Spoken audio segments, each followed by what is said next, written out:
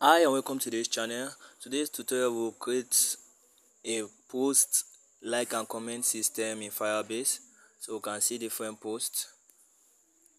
So for our post, I can create a random post. This is a random, a random post. So without selecting any of the color, the system picks a random background when I click the button post. So we can see a random post or if I want to set background example with custom background. I can select any of the background. Let me pick blue and post so we can see. And then we can like we can comment. This is a comment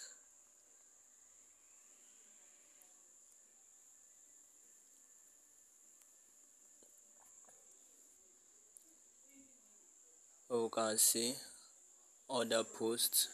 You can see other posts. You can see other posts and that.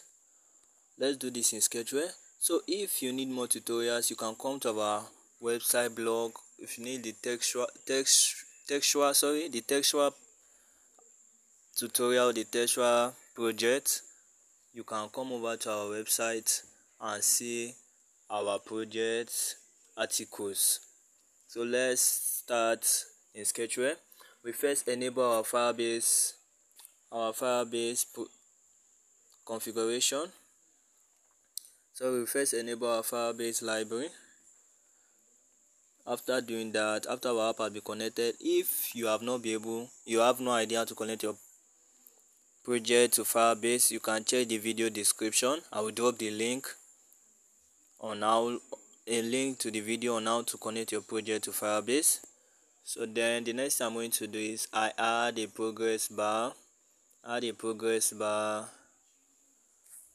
for loading and my I'm signing in as anonymous.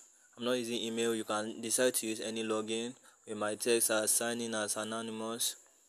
So now I'm create what I do is I add the back button. You can see the back button in my project i'm going to add, add it hide it using this code. Hide code to hide back button. Now if login we just head over to our main activity which is our home activity where we can see our posts. But if it's not login we tell the user to sign in. When the user clicks sign in we hide our button and display our progress bar and then we use the signing anonymous. Before we can see this signing block we need to add this component from our firebase authentication. Mauth is what i use. You can use anything doesn't matter. So once signing we listen to signing complete. So if signing complete and successful we go to our activity our home activity or we toast the error message I will show it as a toast message to the user.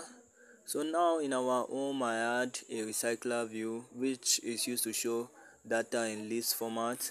So for this page my data will be in vertical format with my progress bar and I add a far button. We can add far button this way. Now in our on create I also added my on resume we hide, hide our our on back button in our, from our toolbar and then we add a firebase component also m on authentication and firebase database for saving data user info and post. So i'm using post post. And then i first stop listening I stop listening to Firebase posts. The, why I do this is because I I don't want to always be updating the data when not needed. As this will consume user data number one and make the application to slow down. And it's also bad when the user when there is a lot of data in the Firebase storage and we're always refreshing. It will cause a lot of slow down server slow down as the case may be. So we set our layout manager our layout manager in our on resume tool. So i created a list map list map which will handle our recycler view. And then i bind my recycler view to a home view in our custom layout which is our custom view. So we can see all the views inside inside there i will be sharing the project so we can we can use the project. Now in our combine custom view i set my text which is the post text and optionally i set the background background color with data from firebase. So now so next i check the i collect the list of likes the number of likes from our firebase from each post. And then I check if the length of likes if the likes is more than zero then we set our information. If not we remove our like text view. Then we check if you you the user like the post. If you like the post then we should mark it as like checked or if you don't like it that means unlike. So in our comment section i just get the length of comments the list by using this. So i created a list map a list map comment list comment list and a list string likes likes list list string. As you can see so once the user click and use this block to go to our post activity so we can see the post and comment on the post and like the post. So this just brings out so in our post activity in our post activity in our on create i get the data. This is the data from our recycler view in our previous activity in our home activity. I still stop listening to to i stop listening to firebase data and then remove our send button because there is no text to send.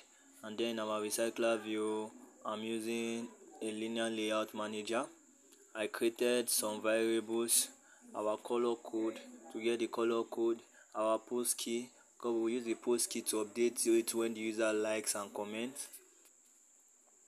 So I also check if the user like the post just like in our recycler view we should set the we should get the number of likes which is the length of the list which is the length of the list from here. Length of the list from here. Else we should remove the like text view. And if the current user has liked the post we should mark it as like. Else we should mark it as unlike. And then we check if the user have comment if there's a comment at all whether user comment or not if there's a comment at all we set the we get the length of comment else we hide the comment so now i'm going to be listening to the post I'm going to listen to the post for changes. So for this project, I'm only listening to unchild changed. There's no need of unchild added since in my own create I've already gotten the data. So no need of unchild added again. It's only unchild change that we need. So now my unchild changed. I'm still doing the same thing. The only difference instead of using our map data from our recycler view, I'm using our unchild underscore child value, which is this which is this. So that is the difference between the uncreate and the unchild added unchild change sorry. So now in our on text change we are checking if the user write a text at all. If the user writes a text at all then we can allow the user send if not there's no need of sending an empty text. So when the user click on like we check if the user actually like the post. If he like the post then it means we, he wants to unlike the post. And then we set the image as this.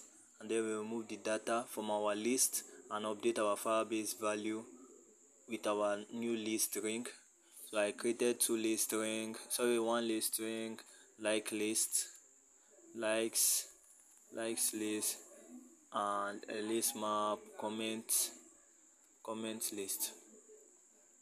And then our color code. And I created three man variable. Why I created three man variable? One is the is to get the data from our recycler view in our previous activity. Comment map is to update our comment list map.